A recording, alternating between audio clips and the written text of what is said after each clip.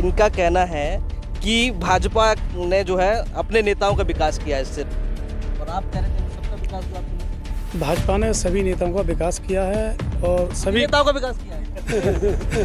तो बाबा 2022 में किसे आशीर्वाद देंगे आप? बाईस हज़ार में तो यही है कि बस सर?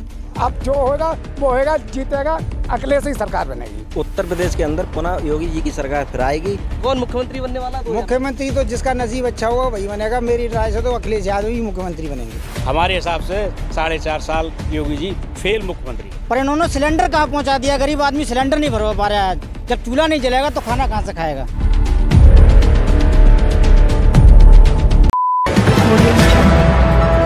नमस्कार, भारत एक सोच के सभी दर्शकों का बहुत बहुत स्वागत है। मैं हूँ आपके साथ सोनू यादव और आज हम पहुँचे हैं बदायूं की बिलसी विधानसभा में और दोस्तों, यहाँ होने वाली है खास चर्चा 2022 के इलेक्शन को लेकर कि 2022 में 22 में कौन मुख्यमंत्री बनने वाला है, योगी जी ही मुख्यमंत्री रहेंगे या फिर जनता यहाँ की जो है वो बदलाव चाहती है। ये सीट जो है बेहद अहम इसलिए है कि यहाँ से जो है बसपा सुप्रीमो मायावती जी भी पूर्व में मुख्यमंत्री रही हैं। जब ये सीट सुरक्षित सीट हुआ करती थी तो बसपा सुप्रीमो यहाँ से विधायक रही हैं और कहीं ना कहीं सीट जो है बेहद अहम है। इस समय यहाँ से जो है भारतीय जनता पार्टी के विधायक हैं। तमाम लोग हैं मेरे पास, सभी दलों के लोग हैं, आम जनता है। इनसे जानेंगे कि योगी सरकार के साढ़े चार साल का कार्यकाल भी पूरा हो गया है। तो 2022 को लेकर यहाँ की जनता क्या सोचती है? तो सबसे पहले हम आपसे जानना चाहेंगे, आप भारतीय जनता पार्टी के पदाधिकारी भी हैं। योगी सरकार के साढ़े चार साल हो गए, कैसे देखते हैं?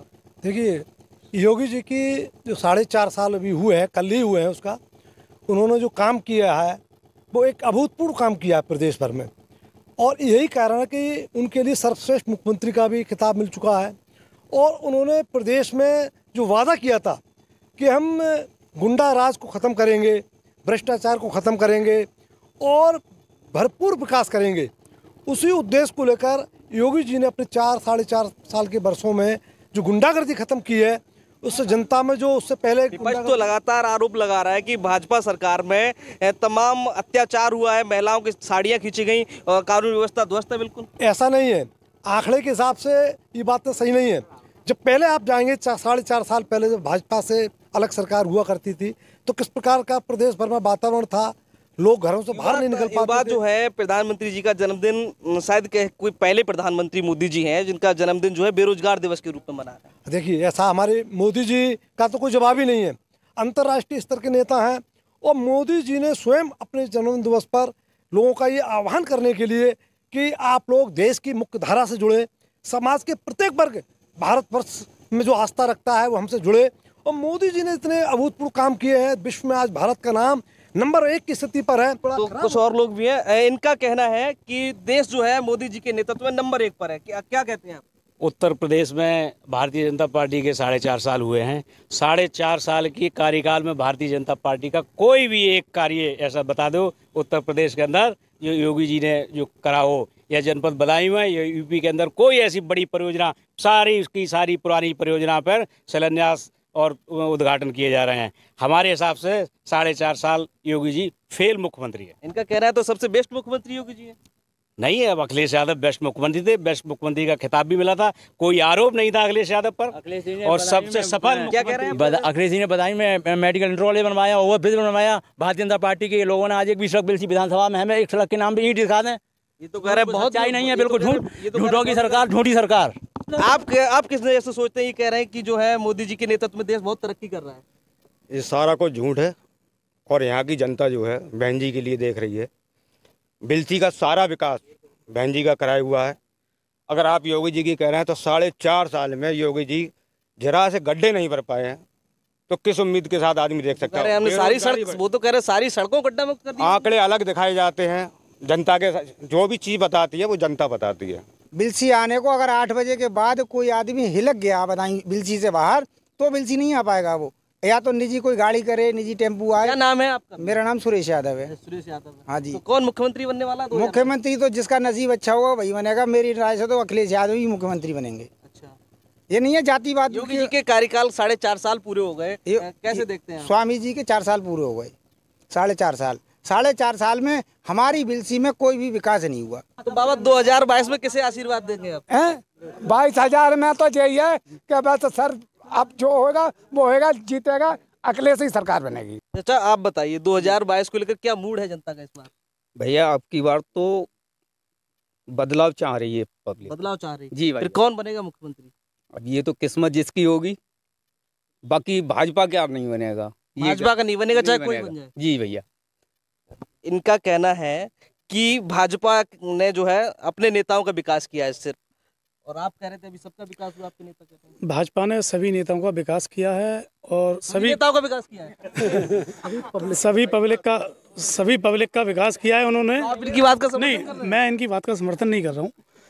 नेताओं ने नेताओं ने सभी का विकास किया और सभी के लिए पूर्णता कार्य कार्य के लिए वचनबद्ध हैं।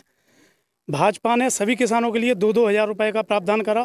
किसान बीमा योजना का। अभी अभी चचा कह रहे थे कि भाजपा ने कहा था हम किसानों की आय दुगनी करेंगे। कहाँ दुगनी हुई महँगाई तो हुई आय किसानों के लिए जब पिछली सरकारें पिछली सरकारें थी तो हमारा अम्बियापुर ब्लॉक डार्क जोन में था। किसी भी किसान का ट्यूबवेल कनेक्शन नहीं हो रहे थे।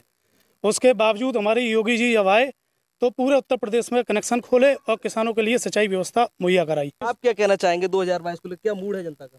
उत्तर प्रदेश के अंदर पुनः योगी जी की सरकार फिर आएगी। साढ़े तीन सौ से कम सीटें इस बार फिर नहीं आएँगी क्योंकि समाजवादी पार्टी को लोग जान चुके हैं ये गुंडागर्दी के अलावा कुछ नहीं जानते हैं। उत्तर प्रदेश के अंदर 2017 से पहले रास्ते में निकलना दूभर था। पता नहीं कब लूट हो जाए क्या हो जाए किसी के साथ कुछ पता भी नहीं था। आदमी सुरक्षित महसूस कर रहा है। योगी जी के वो पाँच काम मुझे गिना दीजिए जिनसे आप सबसे ज़्यादा प्रभावित हो और योगी जी को पुनः मुख्यमंत्री बनना लग-। बिल्कुल। जो क्राइम था वो ज़ीरो परसेंट पे ला के रख आंकड़े तो प्रदेश के अंदर? हैं। उत्तर प्रदेश के अंदर सबसे ज़्यादा एम्स देने वाले कोई मुख्यमंत्री हैं तो योगी आदित्यनाथ हैं। पाँच एम्स पे कार्य चल रहा है। दूसरा उत्तर प्रदेश के इनका इनका कहना है कि बन गए वो। अरे एकदम इन्होंने तो 20 साल पच्चीस रख गए? हाँ नींव रख गई नींव रख गई। दूसरी क्या?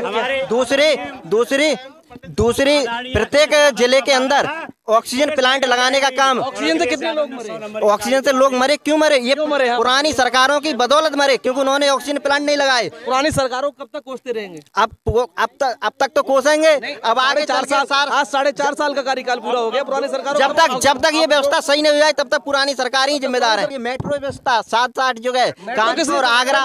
कानपुर आगरा।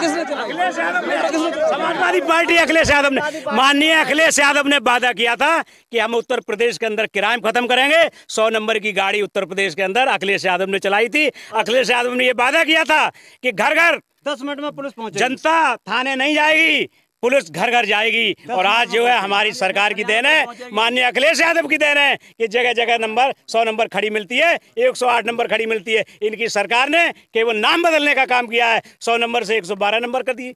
कौन सी उपलब्धि है उत्तर प्रदेश के अंदर? या कोई बड़ी परियोजना बताएँ? माननीय हमारे साथी विवेक राठी जी हैं बहुत पुराने साथी हैं। भारतीय जनता पार्टी की जनपद बधाई में उत्तर प्रदेश में ऐसी कोई बड़ी परियोजना बताएँ जो भारतीय जनता पार्टी की सरकार में लागू की गई हो या चालू की गई हो? चाचा आप बताइए क्या मूड है इस बार जनता का?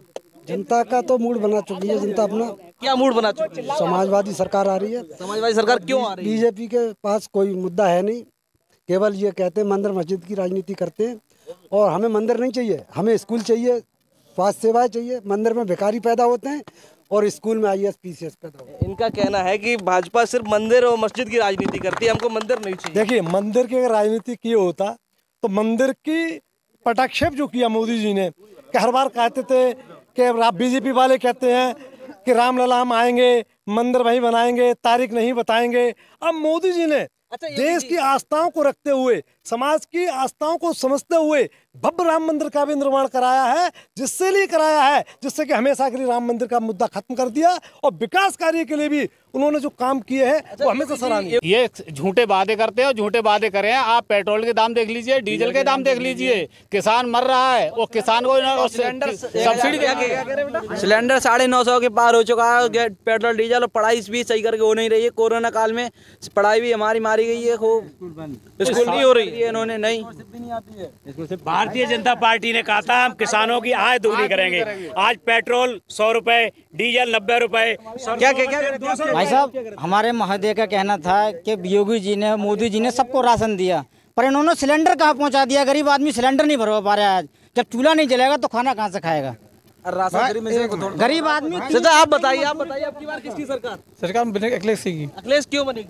अखिलेश जनता चाहती है आप बताए किसकी सरकार आपकी अखिलेश की सरकार बनेगी सर मैं कुछ कहना चाहूँगा कि जो युवा सोच है वो समाजवादी पार्टी के साथ है। इन्होंने जो वादे किए हैं वो बिल्कुल झूठे वादे किए हैं क्योंकि अभी तक कोई भी वैकेंसी जितनी आई हैं उनमें सब में फ़ीस कटी है लेकिन वैकेंसी कोई भी पूरी नहीं हुई है।